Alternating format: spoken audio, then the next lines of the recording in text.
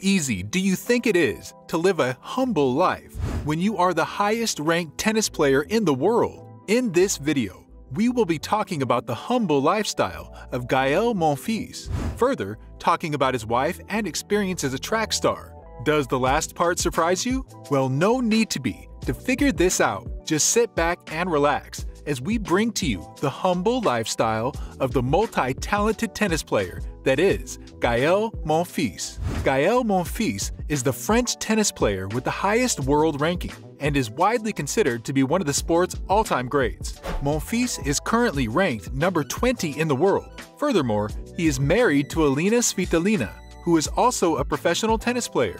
They made the announcement of their engagement in 2019, and their wedding took place in July of 2021.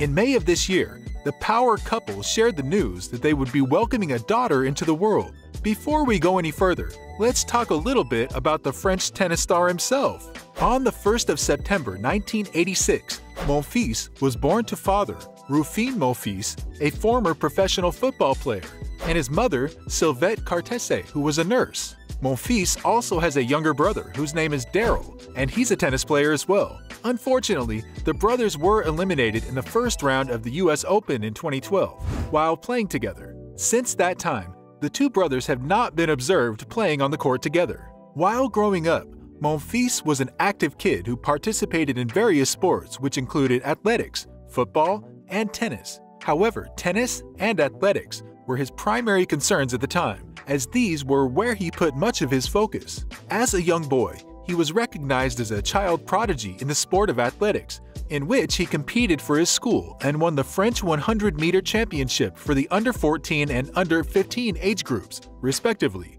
Because of how remarkable he was, his coach believed that if he had continued competing in athletics, he could have won the 100 meter championship at the Olympics. This has got us wondering just how good he was at the sport. Because he was forced to choose between tennis and athletics, Gael Monfils had to place a significant amount of his attention on tennis. I guess we can confidently say that he has made the right decision because he has been doing so well in tennis ever since he started playing the sport. Monfils started playing tennis in 2002. He played in the juniors and had an outstanding performance where he won many tournaments and drew much attention to himself. Two years after playing in the juniors, he finally debuted and played at the 2004 Open de Marseille, where he won his first ATP title. Around this time, the tournaments he won shone some light on him as he rose high in the sports ranking and people began to notice him. Monfils played incredibly well and won many ATP 500 tournaments, but never snatched a Grand Slam title, even though he made it to the US Open semifinals in 2008 and 2016. As a player, he was enjoyable to watch on the court, but injuries kept pulling him back as he had many stop and start moments in his career. It's good to know that choosing tennis for him is not something he regrets. However, as much as he plays tennis, he is stuck with other things. In his free time, he plays basketball and watches movies and music. This can be seen in how he loves to break dance on the court. He is also proven to be a fan of football and WWE.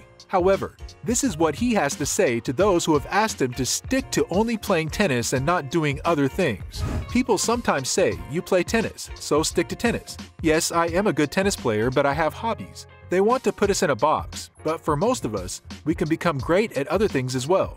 Yeah, Monfils, stick it to those things. It'll be nice to see you try them out professionally sometime in the future. Tennis has indeed brought so many goodies to Monfils because of his wife, his businesses, and everything else he has been able to accomplish for himself. For now, let's take a look at the wife of the superstar. Elina Svitolina was born on the 12th of September 1994 to Ukrainian parents, Mikhailo Svitolina, a former wrestler, and Olena Svitolina, a former rower. Her father competed in wrestling, and her mother competed in rowing. Because Elina's brother received a lot of attention while playing tennis, she decided to take up the sport for herself as a way to compete with him.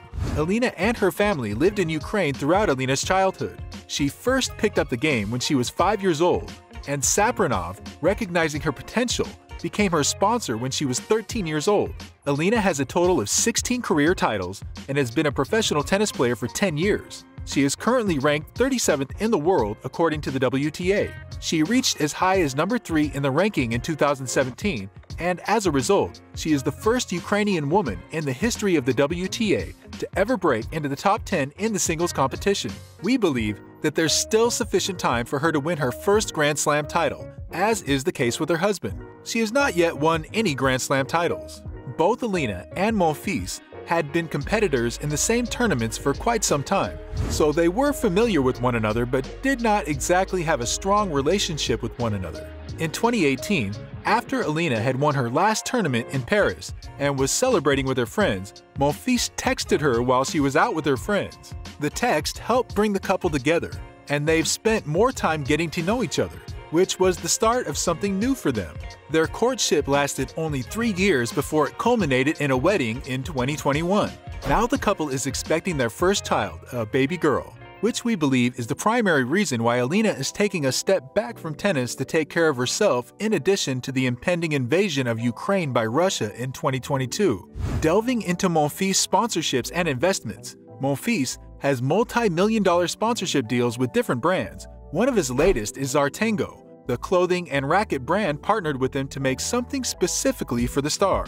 On the Artengo Monfils deal, he says, For me, it's more than just a collaboration, it's about living it 100%. Apart from the Artengo deal, he has other sponsorships with ASICS, Wilson, and Rocket, and has previously worked with many other brands. Aside from the sponsorships, he owns several Paris restaurants, launched his own brand of vodka, and has a top-selling perfume called Gael Monfils Seduction.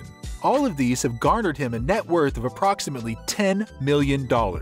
All he has done with these brands has allowed him to build a luxurious lifestyle for himself. So where and how does he spend his money? Monfils is known for his love of cars, spending a considerable part of his money on this. His love for cars has made him buy fast cars, and a few of the luxury cars he owns are a Mercedes SLR McLaren, which costs around $381,290, and an Audi R8 V10 Plus car, which costs about $191,000. He also has an eye for good buildings. He lives in Trélex, Switzerland, which is 10 kilometers away from the French border, where he bought a penthouse in 2018.